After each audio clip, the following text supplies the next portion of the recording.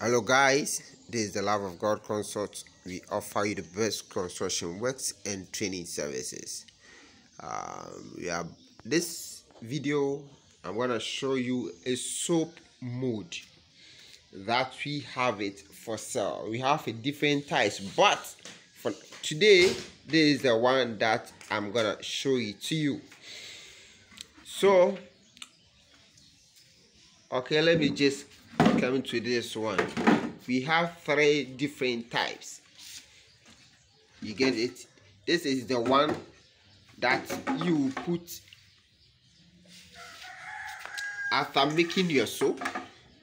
You put the soap on this one. So you place a poly bag inside this. And you just pour your soap inside on this particular mold so we have three types because it depends the particular soup that you are made you are making.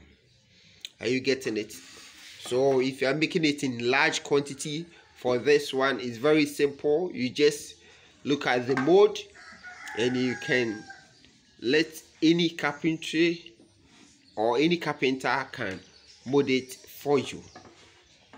So this is the smaller one and here will be the next one and this is the biggest one in them.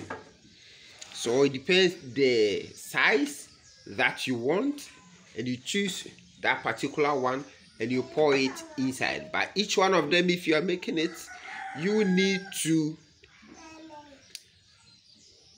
place a polythene sheet inside so that it will be it give you a nice shape. Yeah